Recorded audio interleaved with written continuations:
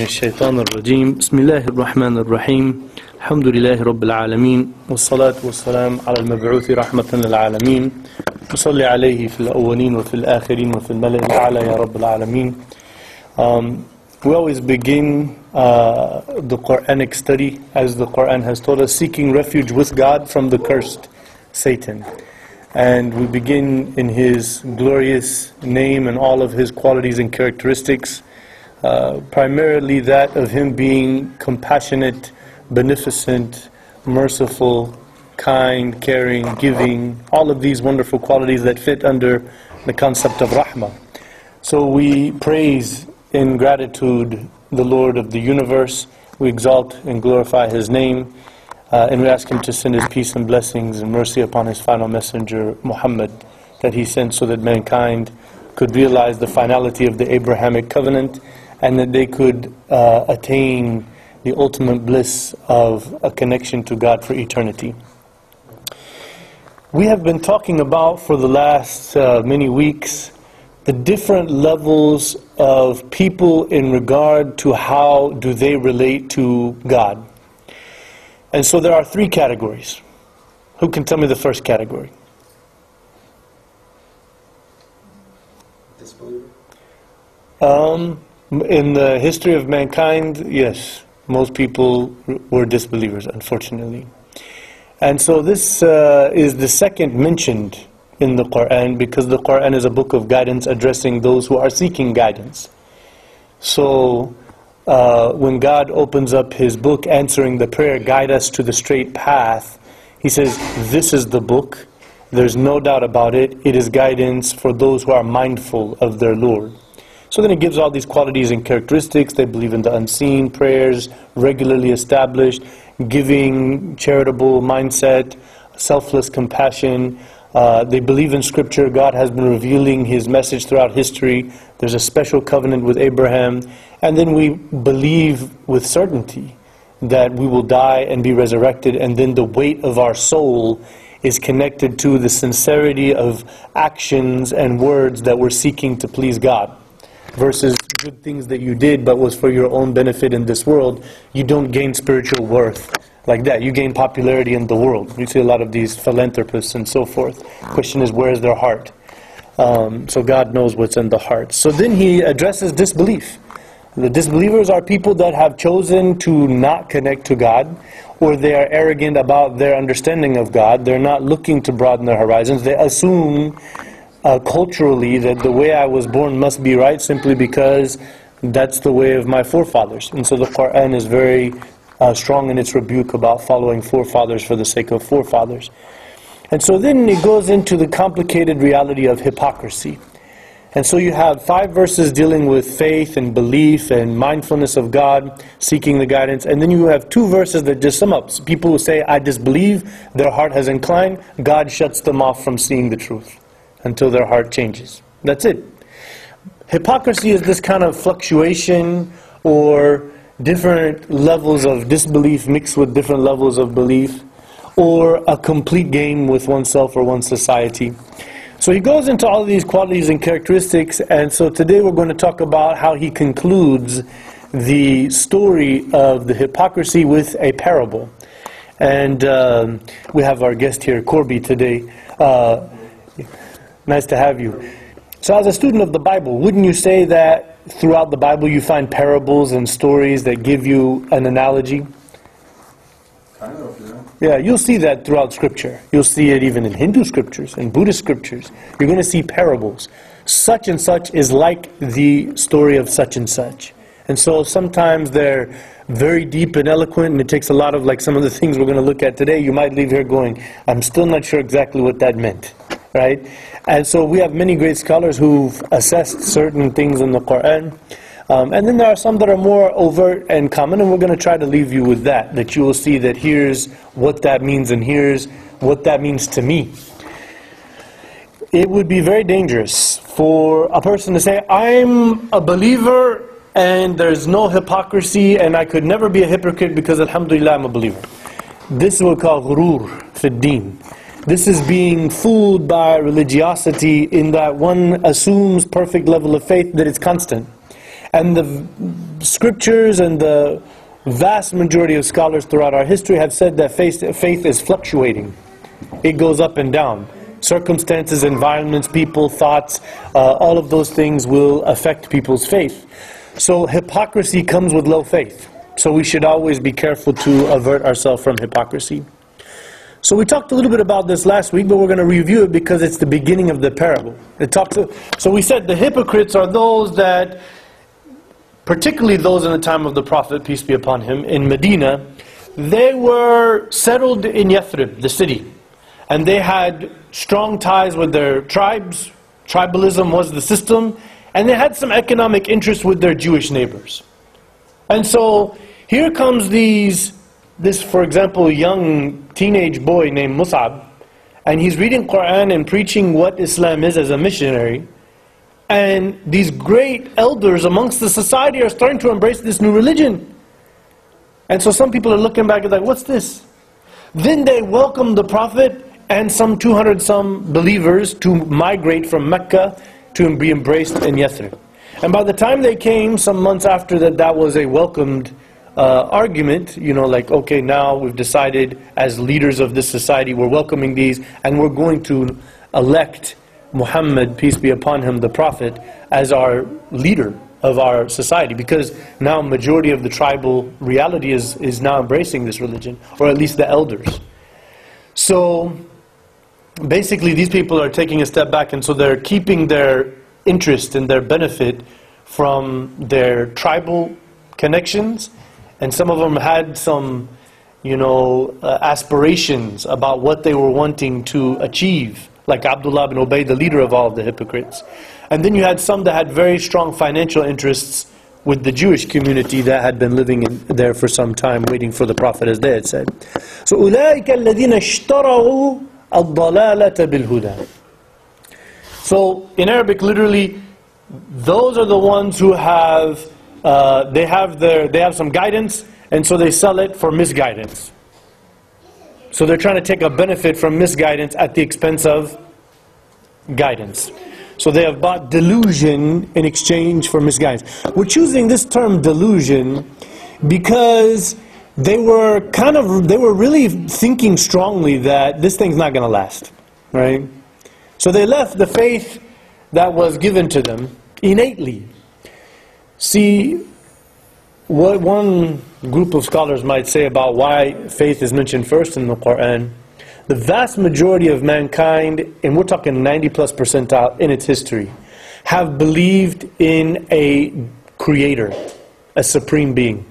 If you look in any language on earth, all of the children of Adam have a word that describes supreme being, the all knowing, all powerful creator, right? That's a concept. I mean, many people say, well, India is a pretty big place to have a billion people.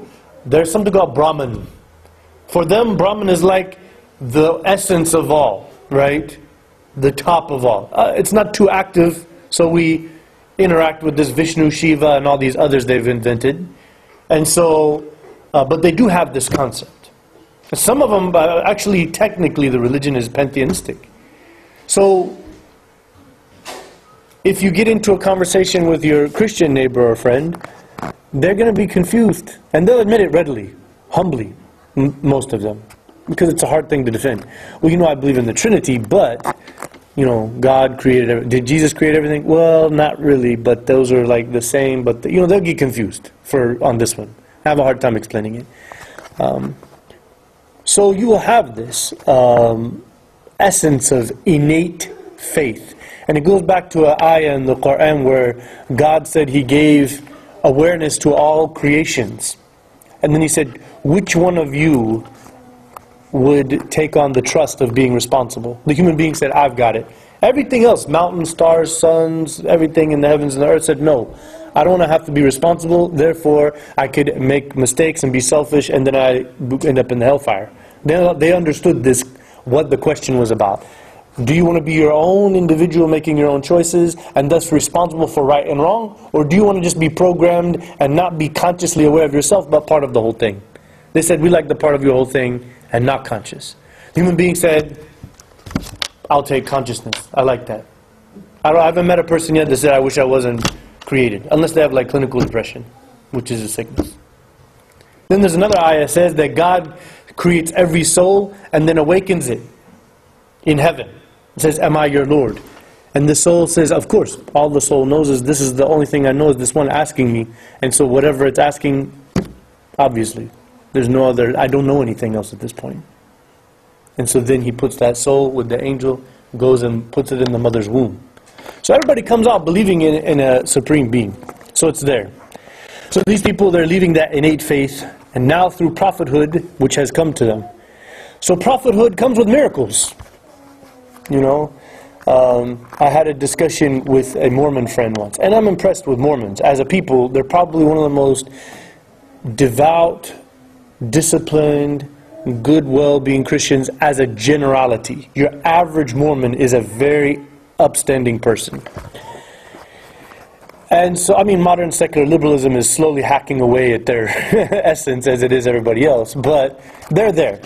But I got into this debate about uh, Joseph Smith, the one they're saying is the prophet that was alluded to in the New Testament when John the Baptist was being questioned about the prophet. Now we know the prophet is Muhammad, peace and blessings be upon him. They think it's Joseph Smith. That's who they, that's what they know, right?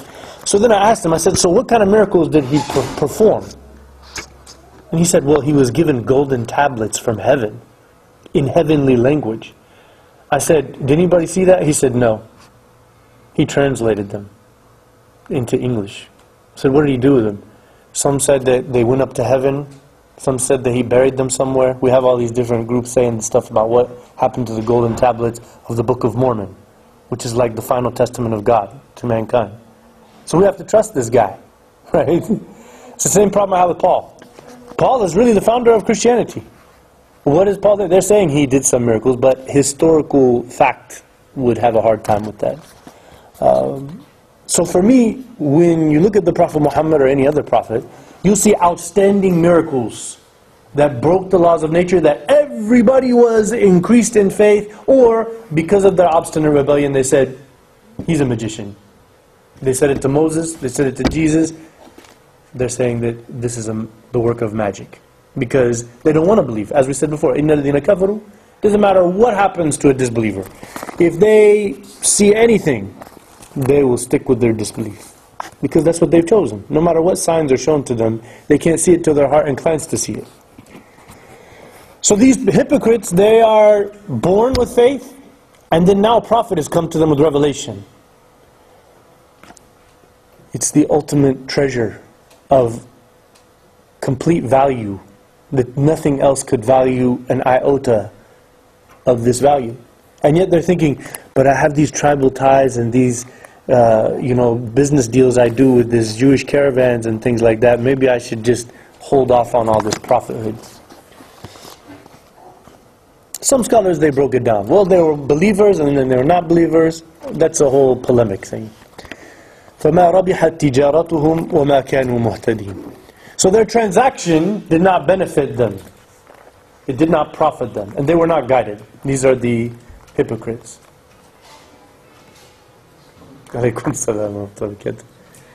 Ladies, you don't bite back there. Okay, just making sure there's no biting back there. It's an English phrase for like not bother you. Yeah.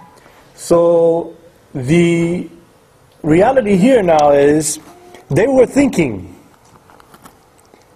We've had tradition here for a thousand years. We're Arabs. We have all these idols. These Jews have been around for thousands of years. They know this stuff. They know about prophethood. We don't have prophethood in our society. We have these old stories of Abraham and Ishmael that are, for them at that point, it became like mythology, like Thor and Zeus. To them, it's some old story. It's not relevant. They have these idols, that's what's real to them. So the Arabs are saying in Yathrib, this thing will die over. It will, it will go away This Islam, this new religion that's invading our society, it's in the Surah Al-Munafiqun. Anybody knows the, the particular ayah? يقولون لئن رجعنا إلى المدينة ليخرجن الأعز منها الأذل So it's one of the some groups of hypocrites. They said, when they were on a traveling mission and it looked like there was some dispute between some of the people from Yathrib and some of the, which we call the Ansar, the helpers, and some of the Meccan uh, Muslims from Quraysh. So they said, when we get back to Medina, surely the noble Yathrib, Aus and Khazraj, we will get rid of these foolish, lowly people who got kicked out of their land and lost all their real value by leaving the way of their forefathers.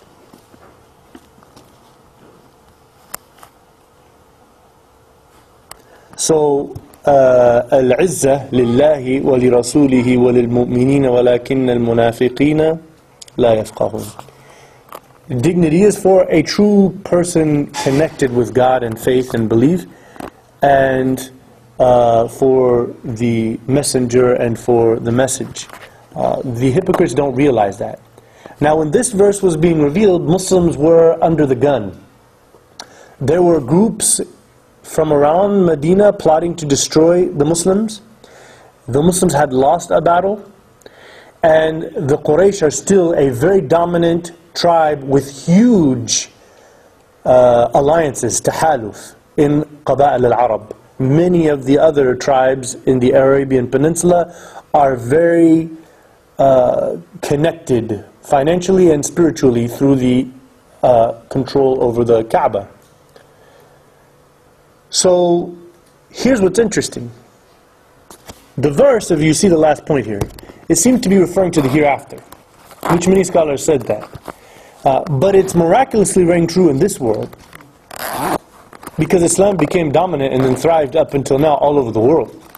I mean, maybe we're not thriving now, but we're in a low point. It's coming back by the fact of history as well as by the prophetic uh, legacy. Everything he's told us has come true, sallallahu alaihi wasallam.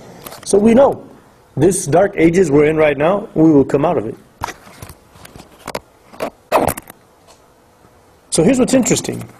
These hypocrites were betting their soul and their worldly interests that this religion is going to come and go. And religions have come and gone all over the earth, big time, in many places. Islam not only became the standard, the norm in Medina, but in all of Arabia and for a third of the known civilized world for now many, many centuries. وَلَكِنَّ الْمُنَافِقِينَ لَا يَعْلَمُونَ The hypocrites don't realize this. So, this is where we see um, how true faith is to realize history and how it will come back. So here's where the, the parable of the day comes. مثلهم كمثل الذي استوقد نارا They're like a people who've kindled a fire. So the scholar said lighting the fire is like their open claims to faith because fire will give you warmth and comfort and it will give you sight. You can see clearly. So they're saying the lighting of the fire is like having the Prophet come, seeing him and saying we believe in him, going to the mosque and praying. Seeing Muslims, learning about morality, seeing the beauty of it. فَلَمَّا أَضَاءَتْ مَا حَوْلَهُ So now it's all around them. It's in Medina.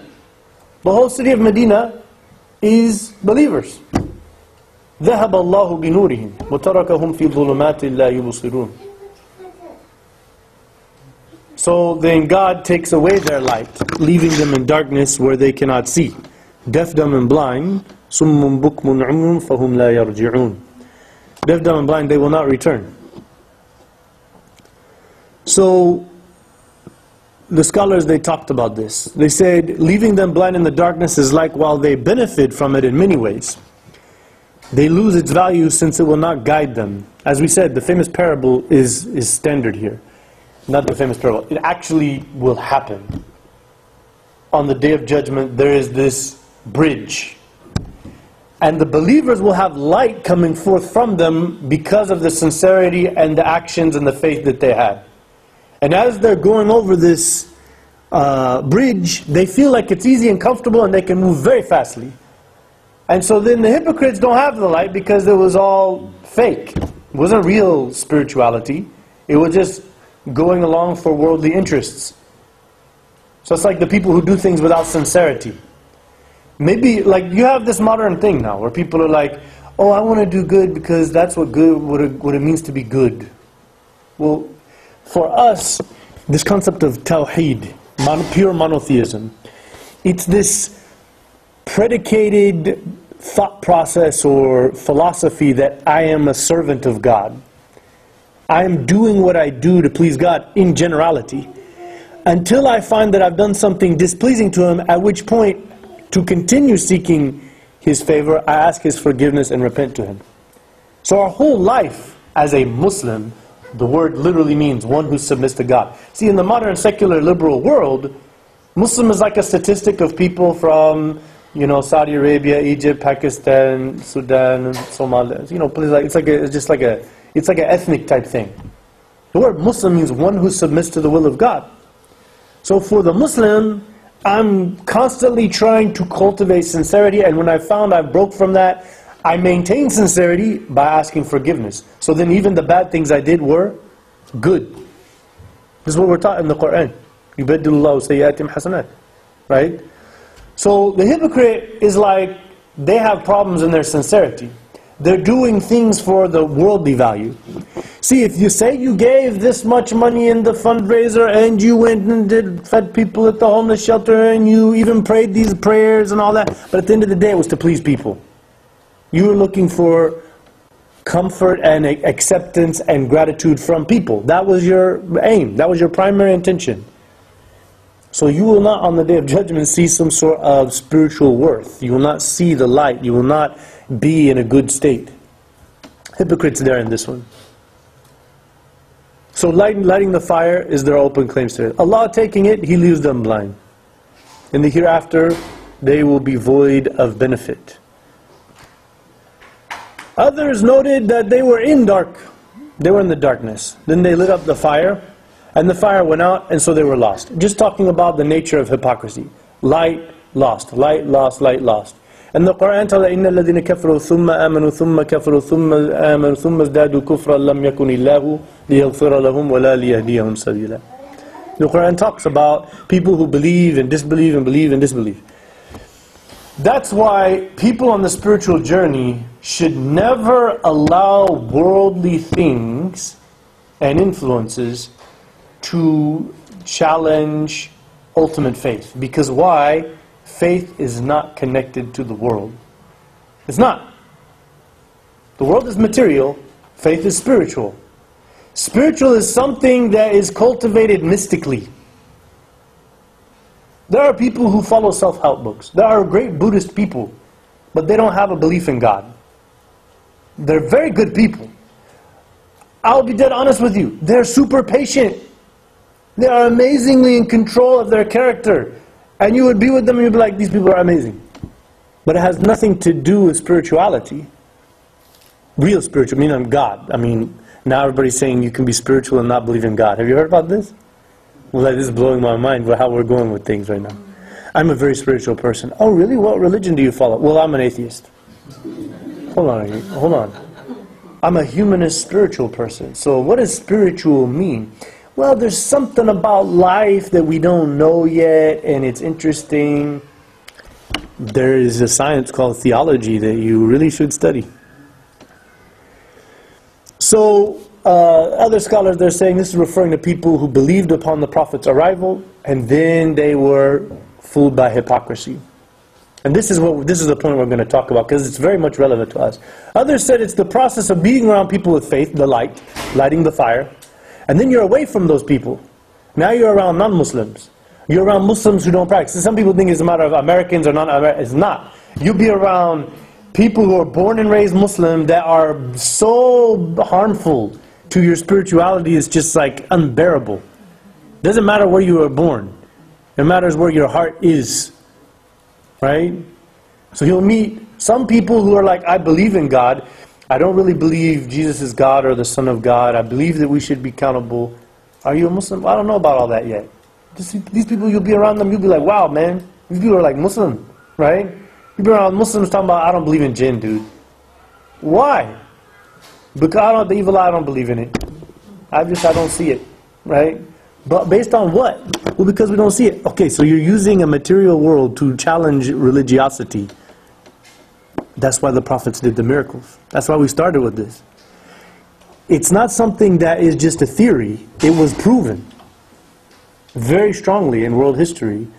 The prophets were sent by the one who controls the laws of nature, the Creator. It's very simple. It's an ABC one, two, three thing.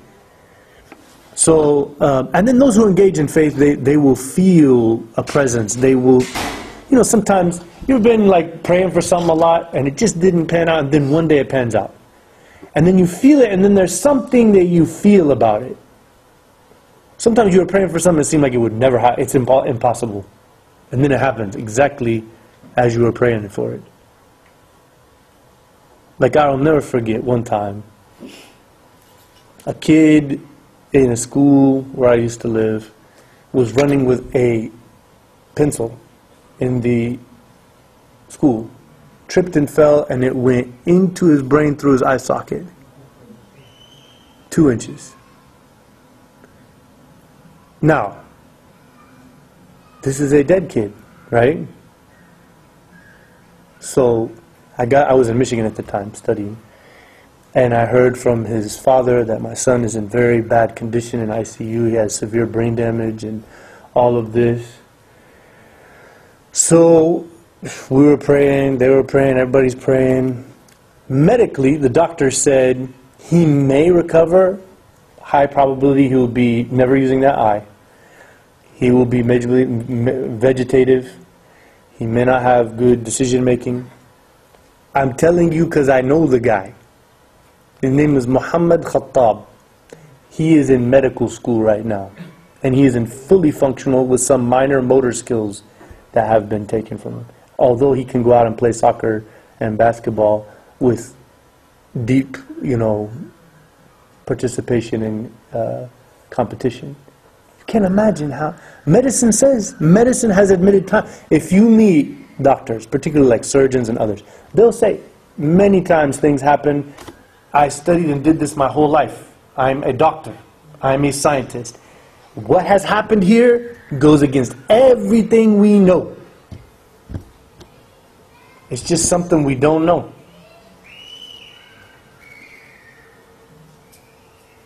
And so that's where faith is something that you have to seek it, and then it will come to you and it will make sense more and more. The more you cultivate it, the more it flourishes within you.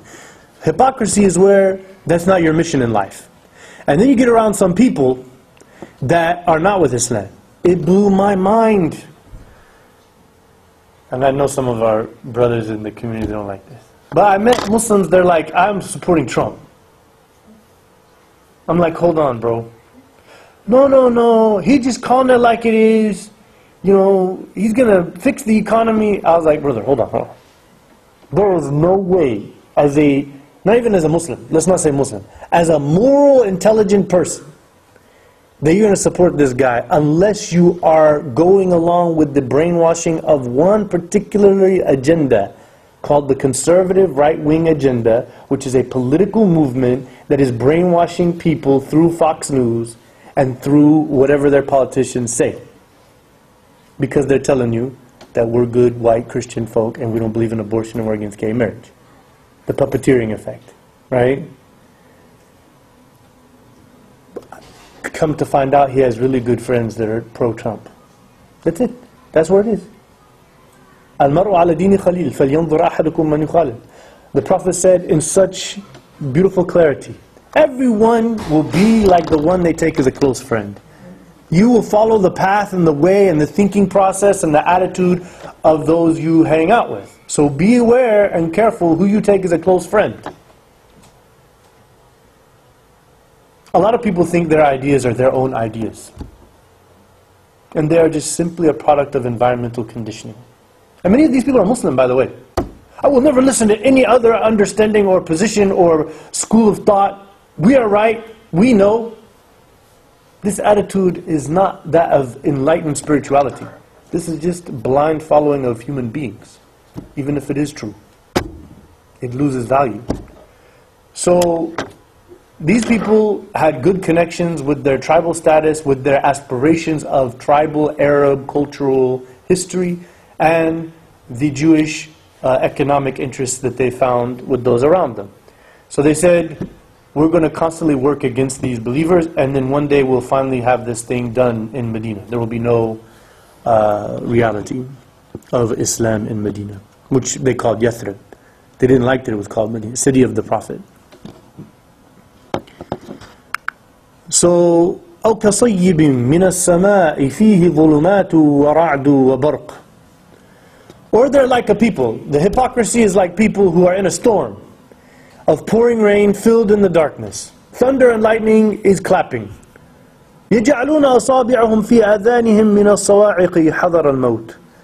So they put their fingers in their ears, anticipating the thunderclaps and the fear of death. Oh no, am I going to get hit by lightning? Is this whole thing going to kill me? Wallahu muhitun bil kafirin. God surrounds the disbelievers. So it's like a people, the scholar said like this. They said, imagine someone's traveling. They don't know where is what. And then this big storm hits. You're going to feel like, oh no, that's the end of me. So th- they are scared, they have fear in them about this. And so they said that uh, they're fearing death and all of this because this storm that's coming seems like it's going to destroy them. A storm, uh, for someone who's at home, if you're at home, what are you like? Well, it looks like the yard's going to grow. You see? You're going to get the fruits and vegetables are going to grow and all that good stuff. You know, you're in the safety of your house. So it's like patience through the trials of life and faith. You understand what it is. You have your home base. So your home is spirituality, where your soul came from. When you're not connected to your soul and you're connected to the earth, you're like some traveler who doesn't know what they're doing, what's going on. So when the storm comes, you don't see any benefit from it. You're not seeing benefit from this one. So uh, the hypocrites are surrounded with what they believe is harmful because they are not at home while dealing with it. So in this one, I'm trying to remember this other one I read by Imam Ibn Ashur.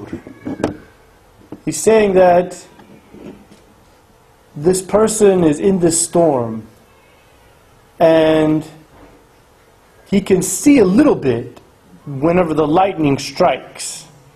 So he can see, but because he's not at home, it goes away. And now he's so scared and he doesn't know which direction to go because it's dark out. It's clouds and raining and all that. So this person is just going to stay there until finally they may get hit by lightning. Whereas the believer, they will be in a place of comfort and a place of safety because the word iman comes from amin, which means safety of the soul. What do you think is most safe? Your home. Would you rather be out in the middle of nowhere in the dark where something bad could happen? Or would you rather be in your home safe and sound? So that's the soul is the home. And guidance will come like the rain pouring down. That is the uh, the thing that bears the fruits of life. But guidance brings masa'ib. There will be good and bad things. نَبَلُوكُمْ بِالشَّرِّ وَالْخَيْرِ فِتْنَةً وَإِلَيْنَا تُرْجَعُونَ You will be tested through good and bad things throughout this life. If you're at home, you'll know what you're dealing with and you'll be able to, you'll be comfortable with it. Big thunderbolts, claps of lightning, all of that. You'll be comfortable with it. This is normal. These things should happen. The hypocrites, whenever the reality hits and sets in that they don't know what they're doing and they have totally left home, their reality is very dangerous. يكاد البرق يخطف أبصارهم The lightning almost snatches away their sight. كلما أضاء لهم مشوا فيه And whenever the light flashes, they walk along. وإذا أظلم عليهم قاموا And whenever it gets dark, they stand still. ولو شاء الله لذهب بنورهم بِسَمْعِهِمْ وَأَبْصَارِهِمْ If God willed, He would have taken away their hearing and their sight. وَاللَّهُ عَلَى كُلِّ شَيْءٍ قَدِيرٌ And He is all-powerful. So scholars have said that the lightning and the thunder represent the power of revelation. When revelation comes to you, you start to see things in your life. You see the favors of God, but at the same time you see your sins and the corruption in yourself and around you. This is like a lightning bolt hitting you. See, most people don't know they're sinning. Like if you look in our society today, and you see how basically the number one concern of most people is entertainment. Music, movies, sports games. How can I be entertained? It's like that Russell Crowe. Are you not entertained? They're watching him kill people live. But we're getting there, aren't we? I mean, now look, you know, like Hunger Games, you thought it sounded crazy. One thing you'll notice about Hunger Games is that they never mention God anywhere. Nobody's spiritual. Nobody believes in God. There's no churches, mosques, synagogues, nothing anywhere in that movie. It's a, it's looking forward the way we're going. Like the NFL right now. It's the biggest, most grossing uh, sport in the world. NFL. And yet, CTE. You know what CTE is? Uh, chronic uh, encephalopathy. It's the syndrome of concussions. You should go and get the movie Concussion, where Will Smith plays the Nigerian doctor who has four PhDs in different medical disciplines, who was doing autopsies back in the year 2009 and 2008 on some famous football players who went crazy and their families asked for some sort of help. Will Smith said on NPR after he made the movie, I no longer watch the NFL. He said, I can't do it. He said, because I studied the whole thing about this. Right now they're showing, they did a research on 115 uh, dead NFL by the permission of their family. They posthumously uh, took them out of their grave, looked in their brains, and they found that 93% of all of those who died under 60, that they 93% had this brain deteriorating concussion syndrome. And so what happens is right around the late 30s, early 40s, they start to get anger problems, they start to forget things, they start to have like uh, delusions, like they're hearing things and seeing things. They have very similar symptoms of schizophrenia, of dementia, and Alzheimer's. And then usually they start having chronic pain, and then they get on the opioids, and then they uh, start to have uh, problems with people around them, and they start to become secluded, and most of them commit suicide. Most of them are committing suicide. So you probably don't know, as a result of this movie and what happened, that uh, the NFL made a settlement of billions of dollars with thousands of families of people who had already had their stuff in court because they knew something was up. And the reason being is that they were it was proven in the with the evidence that the NFL has been knowing about this, and they've been hiding um, the knowledge. So our brothers Hussein and uh, Abdullah brothers, Hussein and uh, the other one? They're twins, I think. One played played for the Kansas City Chiefs, the other one played. For, yeah, they're both Abdullah. One's Hussein, one's uh, forgot his name. Astaghfirullah Those are some inspiring guys, mashallah. They both uh, quit the NFL.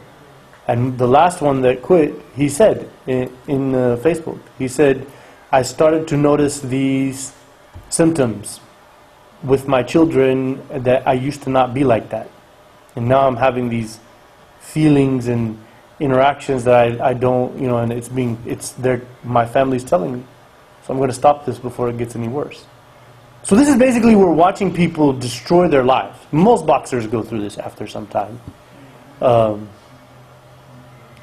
so now, like, this is very, we're making money off the list. Like, what is this, the Coliseum back in it? But yet we're now modernized and we're, we're evolved people. No, we're not. We're going back to the same old stuff. Why? Because of worldly attachments and desires. So the spiritual level that the believer is seeking is where I won't care how much money or how much fun I can make by worldly interests if it's going to hinder what is right spiritually. That's the believer's mindset, paradigm. The hypocrite and the disbeliever are saying, yeah, but I really enjoy these things in this worldly thing. I really want to make this like a home for me. I want to feel comfortable here.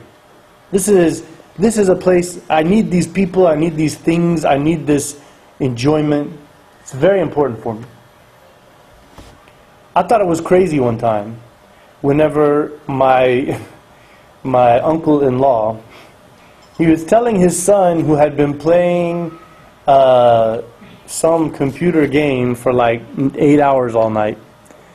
He was like, son, don't you know that uh, some Chinese and Japanese people are dying while playing the game? And I thought that was ridiculous. The brother sent me the actual article of real journalistic proof that some kids have been sitting urinating in plastic bottles and then dehydrating and dying because they have to win this game. They died while playing a game. This is the value of life to these people. So that's really what we're talking about here. And so uh, life is going to bring trauma, it's going to bring difficulties, it's going to bring hardship. And we are meant to have some form of relaxation, we call tarwihan and nafs. We are meant to have some relaxation. The Prophet ﷺ and his companions would sit and listen to some poetry. They would sit down and joke and, and talk about things in funny ways. Uh, they would race camels and horses. This is no, they wrestled. But that was not like their ultimate goal. The modern society's model is you have to work really hard to barely make enough to feed your family. Like sometimes 10, 12 hours a day.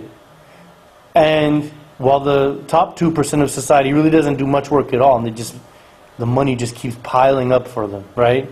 And then when you finish, you should entertain yourself. Dancing with the Stars, America's Got Talent, all of this, and all of these shows that they have. And you should be like, so Netflix, I didn't even know what it was. Netflix binging. Have you heard of this? Well, like college students take tests. There are college students. They took their test. They go home and they watched 25 episodes of a show over two days. What? This is now. These are educated people. These are some people. Girls right here. They're praying five times a day, generally. Then they start doing like this. What are we doing? Where's reality in this one? The reality is fantasy land. So, um, yeah. So if you're around the revelation, revelation is your that's your home base. Spirituality is being fed through scripture, through prophet, through Quran. You're getting that. The people you're around, that's what they're thinking about, that's what they're remembering. Then that will keep you going in the right direction. When you detach yourself from it, and then all of your influence is people who don't care, people who have turned their back. وَقَدْ خَابَ مَنْ دَسَّاهَا Dassaha literally means like to put your head in the sand. Like to be like, I don't care. To turn your back on your soul. These are the failures in life. So I think that's, uh, yeah. So, in summary, uh, the reality of the people of faith and their connection to spirituality and servitude to divine truth, connection to revelation. Disbelievers are people whose heart is blocked. It's it's it's uh, veiled. The heart of the disbeliever is veiled. They they cannot see or hear or understand truth because they don't want it until their heart says, you know what, God, I really am seeking genuine, honest guidance. Yeah, that's. We're, we're done. So then the hypocrisy is where, uh, if you look at it, you'll see. The hadith of the Prophet, peace be upon him, he said that uh, whoever has one of these traits uh, has hypocrisy in them. Whoever has all four is a complete hypocrite. He said, the person that lies a lot. They live in a false world, what we were talking about. They invent false realities for what? For worldly benefit. The, so if we look, the Prophet had allowed some types of lying. Why? Because the person who's lying is not benefiting themselves with that lie in any of these cases. Actually, they are causing benefit to others that carries an overriding need in society against, if he was just straight up, could cause some serious damage to those people. So the reality of lying is this uh, false reality based upon worldly interest. If you believe that God hears and knows all and angels are writing down your words, ما يلفظ من قول إلا لديه رقيب عتيد Anytime you say something, there is an angel going to write down what you have said. And then on the day of judgment, your scale of worth will be there. So then he said the second, the second characteristic is إذا تُمِنَ خان. If these people are entrusted or given responsibility, they always uh, are treacherous. Or many times you'll find them, they never take care of this responsibility and they're never fulfilling their trusts. Uh, إذا وعد أخلف. If they make a promise, they'll break their promise a lot. I will do that. And sometimes you'll see Muslims throwing, I will do that, inshallah, and then they never do what they say after they say. I remember I was with a group of uh, kindergartners at Peace Academy a long time ago. I asked them, what does inshallah mean? And you know what the one kid said? I was going to start laughing. Probably not.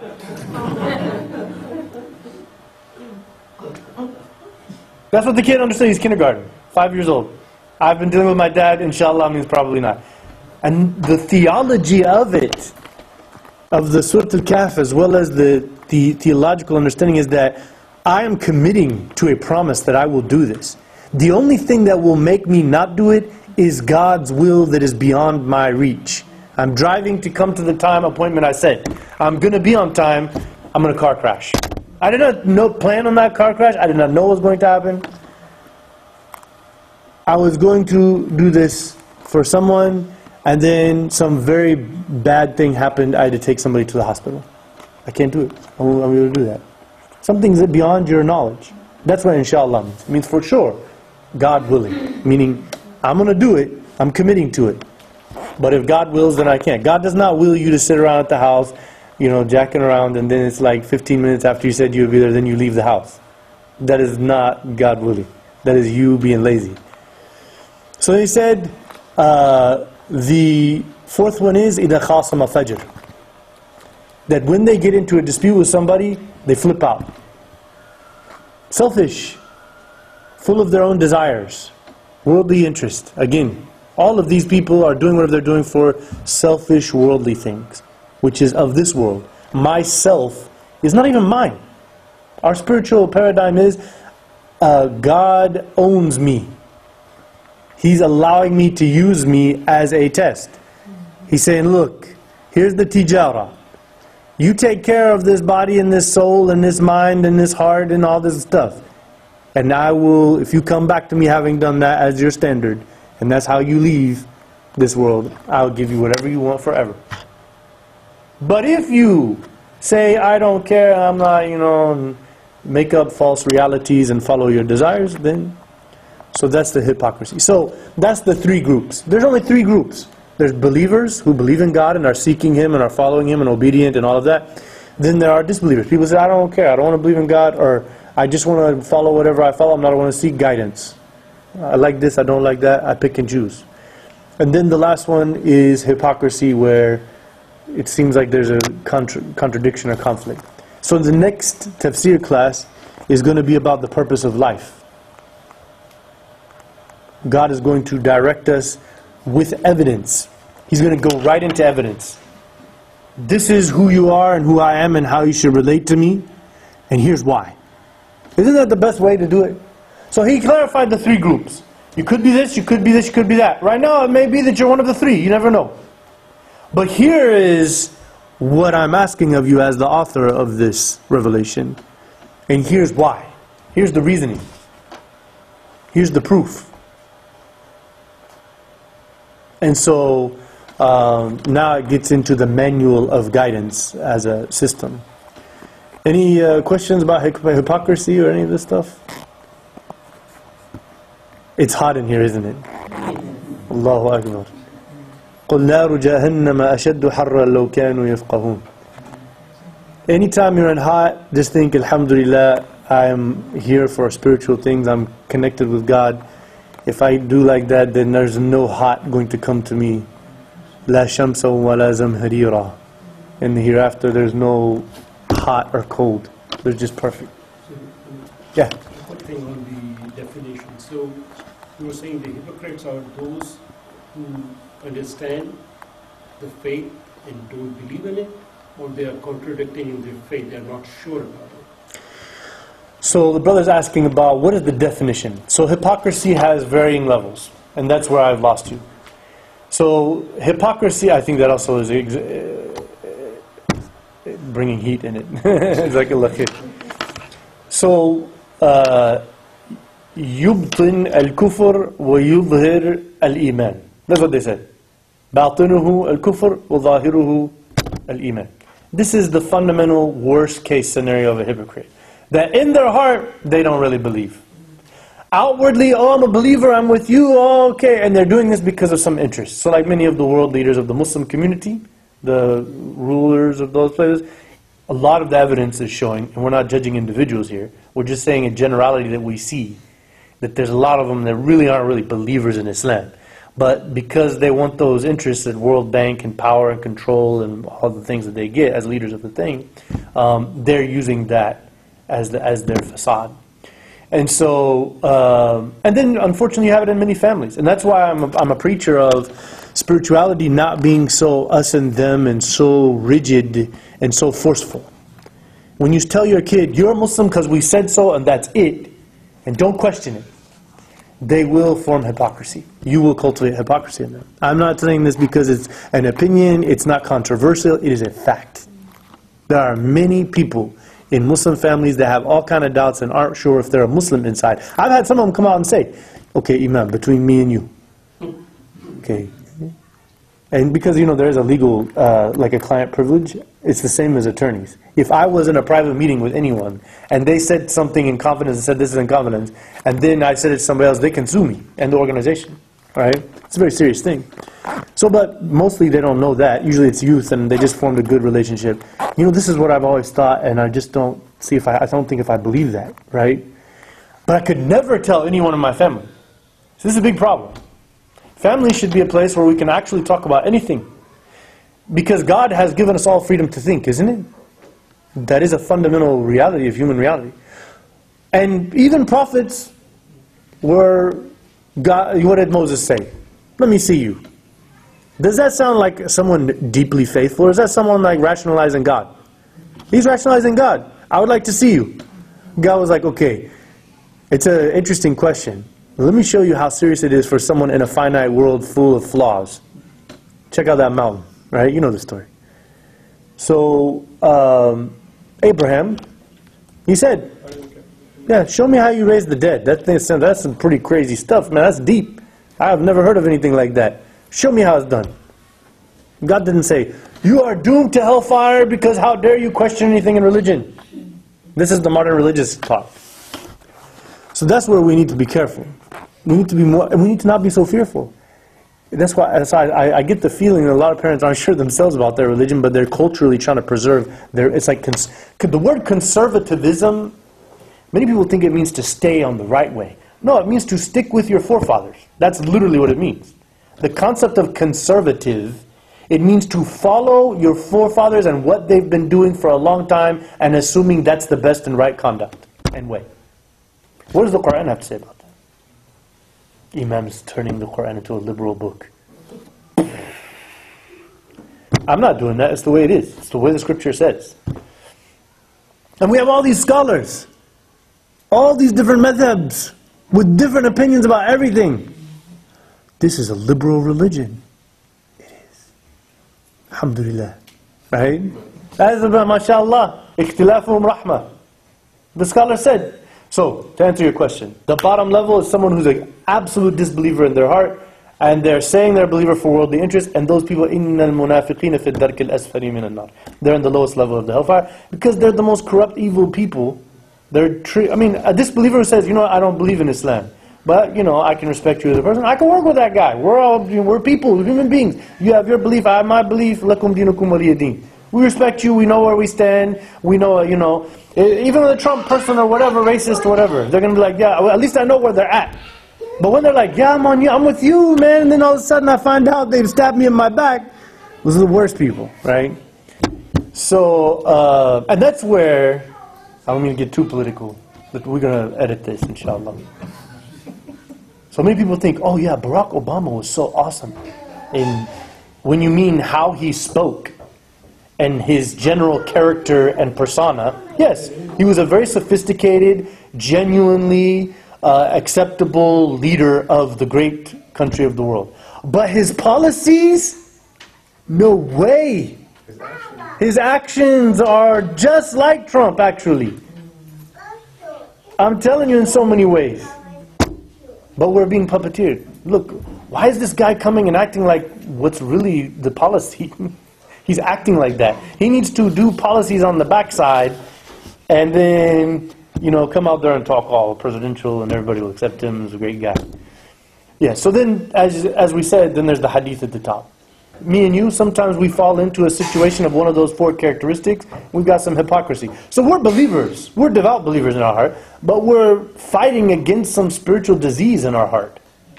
That's all of us. You know, we all go through that. So that is, so that when we say this, the Muslim says, I believe in Islam because there's one God. Muhammad was a prophet. He did all the miracles. Quran is the word of God. I believe that, so I think I should be praying and all that. I do my best, but maybe sometimes I don't. That's Muslim.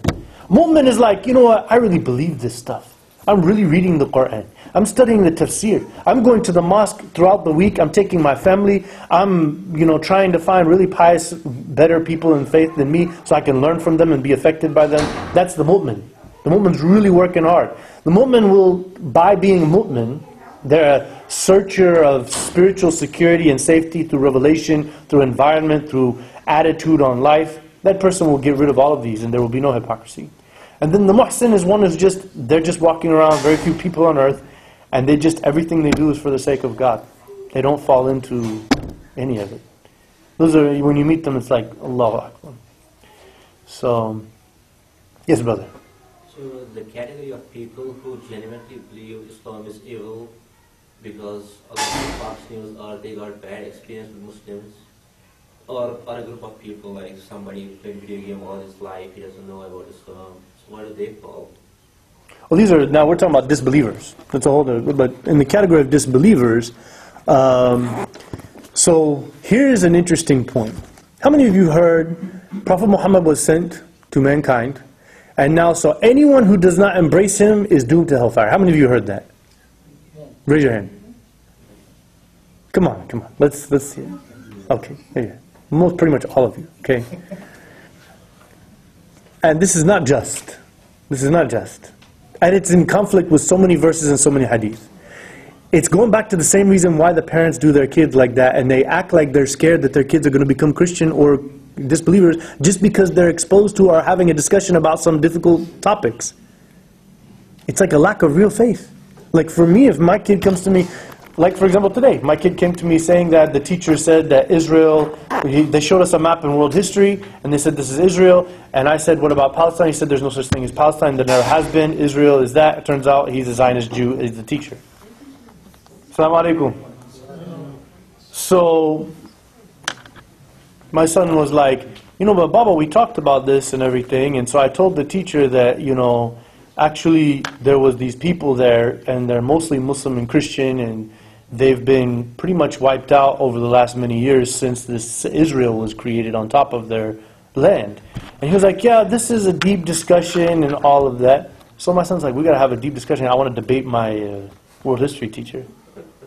That's better, you know. Many parents would say, son, don't talk about these things with him. Just don't talk about it. Stay away from it. Get your A's in the class. Why? We stand for something. And we're, we're comfortable with it.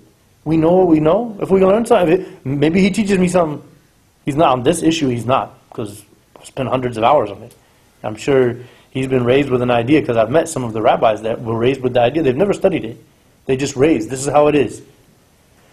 So those people who are saying, I don't really know anything about Islam except for what I saw on Fox News or CNN or MSNBC, blowing up and chopping heads off and burning people alive, drowning them alive. That's what I see as Islam.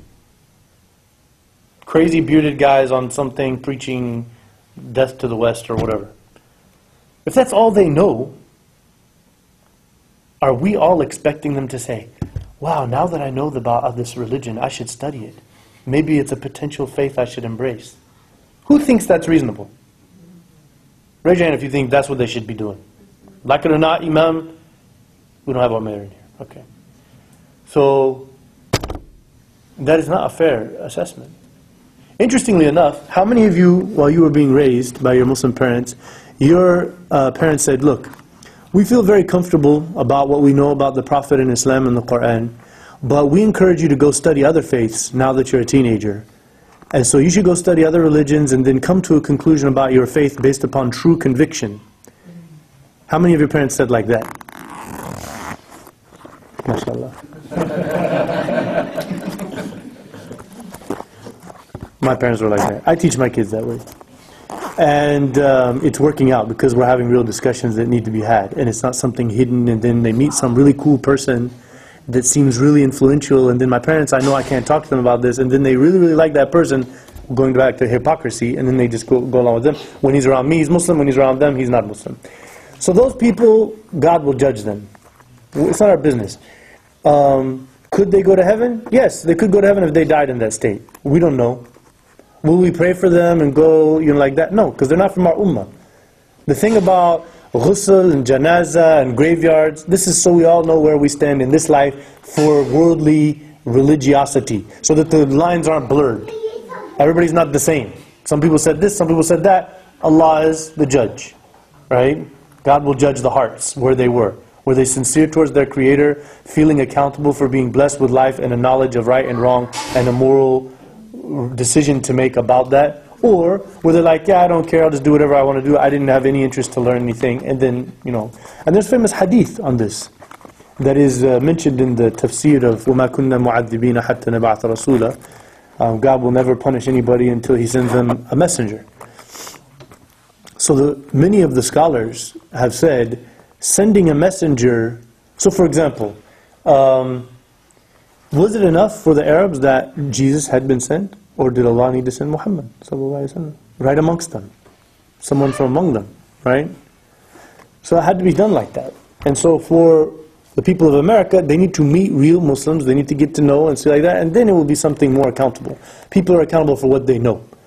Um, and, if the, and if in their heart they had said, I don't care to know, then that's very serious. Um, so the kid that's just playing video games and all that, it just depends on where their heart is. But it's not our business to say who's going to heaven, who's going to hell. It's not our business to claim for sure we're going to heaven. Of course, if we are dedicating our life to regular prayers and remembrance of God and uh, you know, following the message as it was revealed, we feel very comfortable and we have very strong hope that I'm ready to die and I'm comfortable with that because I'm doing what's asked of me. And when I have slipped up, I ask forgiveness and tried to move away from that evil.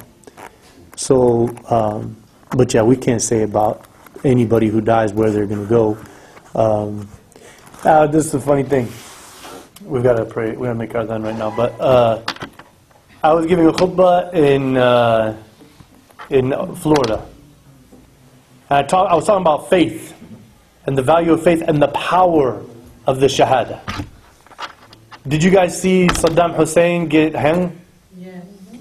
What was his last words? Two times we heard it. We didn't hear anything else than we saw him hung. We call it a husn al-khatima. Now, if you're Iraqi, you don't care what you heard from him, he's going to hellfire. You've made that decision based upon oppression, torture, abuse, humiliation, uh, all of that kind of stuff. They lived through it for many, many decades. But what we know spiritually from theology, it looks like he's going to heaven. Somebody who, until the last moment, they came to it. Some scholars would say, well, he knows he's going to die. But he could have said anything. He could have said, Hizb al-Ba'ath. He could have said that, right? But he came to faith at this point. And does he know that somebody's not, American forces aren't going to come in? All right, that's enough. You know, I don't know, it sounds like a movie, huh? But he doesn't know exactly what's going to happen, but he's being sure about what he knows spiritually. Um, so this is where, you know, spirituality is a very interesting, delicate, multifaceted, nuanced thing. It's not a rigid, uh, type thing. It's a very sophisticated reality that needs to be respected and treated as such. And people need to stop trying to control God and religion. Okay? We know what has been revealed, we know the Prophet, we are believing in that, but when it comes to all of the knowledge of that and the correct interpretation and what's going to happen in the hereafter by detail and for surety, Allahu A'lam. That's the, that's the reality of the believers. But some people are like, this is what it is, I'm on the haqq, I'm on the truth, those are the kuffar, I'm this, those are the, you know, fusaq and the uh, fujur and the bid'ah. I mean, this, is this Saudi thing, I don't know how far it's going to last. It needs to get, somebody needs to do something with it. It's way out of control. So we ask Allah subhanahu wa ta'ala His guidance, we ask His forgiveness, and we ask His uh, support in our endeavors, inshallah.